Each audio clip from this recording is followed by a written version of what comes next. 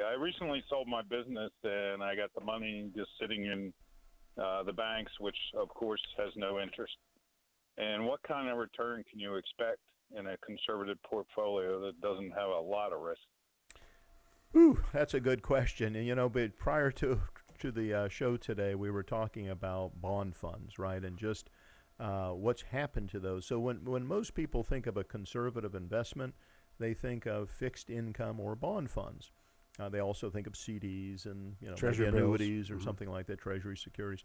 But uh, I, I know Vanguard, their midpoint for the estimate on what fixed income uh, bonds will do, what they call the aggregate bond index, is right around 1.2% over the next decade. Uh, and that's a range, I believe, of 0.8 to 1.6, so somewhere in the, that midpoint. Um, so the answer to your question is not a heck of a lot. If you invest money conservatively today, you're likely losing purchasing power to inflation. Now, there are conservative investments that do give you guarantees that will probably get you slightly above inflation, but you're tying up your money. You know, these would be things like fixed income, uh, fixed indexed annuities, fixed income annuities. Those might get you two and a half, three percent. But again, I assume you've sold the business and you may be looking at reinvesting that money. Is that right, Mark? Correct. Okay. I don't need this money for income right now. Okay, so here the most important thing that you need to do, Mark, is do some planning. Uh, what you're doing, and this is the mistake that virtually everybody makes: you get some money, and then you're chasing returns, trying to get the good return in the safest way you can get it, and you really don't have direction. What a planning process is is a detailed look as to where you are today with your income, whatever that might be. If it's zero, it's zero.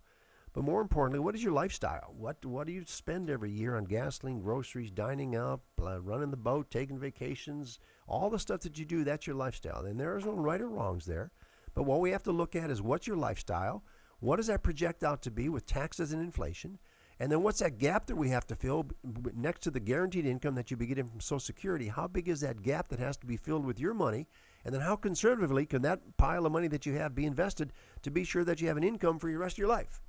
And that's what planning is about. That's what we do as certified financial planners. Is why we charge a fee. Why we don't give this stuff away. There's some folks on the radio I know that give it away because you know I won't tell you why, but that's they give it away. Right. We charge a fee for what we do. It's a reasonable fee, but for the first time, many people in their lives really know where they are, what they need to do. Like I say, so they don't look back five years and I say, "Gee, I wasted five years, and I should have been doing X."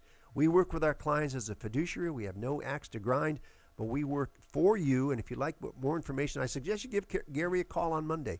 Gary has a lot of business owners. Gary was a business, is a business owner uh, in his own practice, and uh, understands exactly what you're going through. And these are the kind of clients we deal with day in and day out. Mark, we would encourage you to give us a call. You can reach us at 407 869 9800 or on the web at financialgroup.com. And congratulations on the sale of your business. I love Yes. American entrepreneurs. Yes, absolutely. And uh, you know, I would also go ahead, Mark. Can you give me some idea of what the fee would be?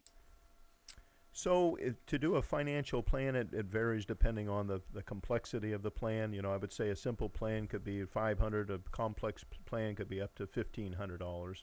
Um, and specifically with regard to investment planning, I'm glad you asked the question and uh, about you know what could you do on a conservative basis.